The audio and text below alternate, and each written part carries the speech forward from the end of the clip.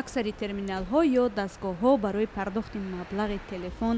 барқ андоз ва дигар хизматрасониҳо дар душанбе расид ё квитансия намедиҳанд. ин сокини пойтахт ки ба телефони мобилаш маблағ гузаронид натавонист расиди маблағи пардохтаашро гирад ва бо ин далел бо асабоният мегӯяд маззаи терминал нест. дастгоҳҳо барои пардохти хизматрасониро дар душанбе сари ҳар қадам дидан мумкин аст ки аксарашон коғаз барои расид надоранд мо доимо аз ҳамин автоматҳо истифода мебарем. Ҳамин мобайни ду се минуту маблағе ки ворид кардагаем уже э,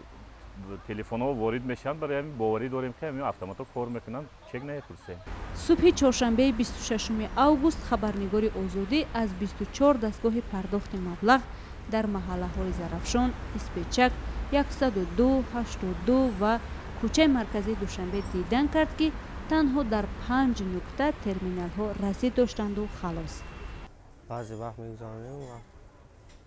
вақте ки ба банкам гузаронанд